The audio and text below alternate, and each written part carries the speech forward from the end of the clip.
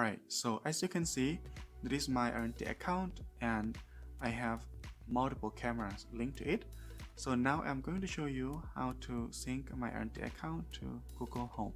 Okay, so first of all, you're gonna have to download Google Home application to your phone and then sign in with your Gmail account.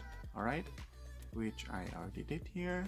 Okay, and then the next step, you're gonna have to click on the plus icon there, the top left corner of the screen. Okay and then um, set up device. Okay works with Google. Okay. Link your smart home services like Philips and etc okay click on it here. And then you're gonna have to click on the search icon there and then type uh,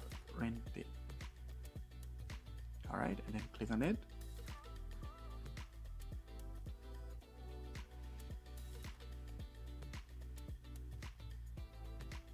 And now it's link and then okay.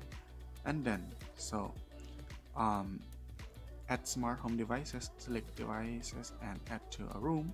Okay so you can have to select you can select all devices here. Okay can say office okay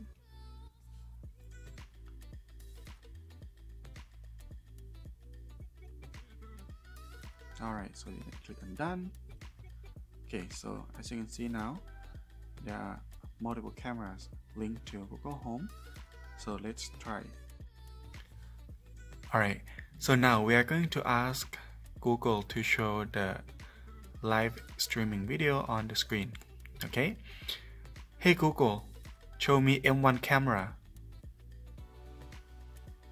Sure, streaming M1 on Office display.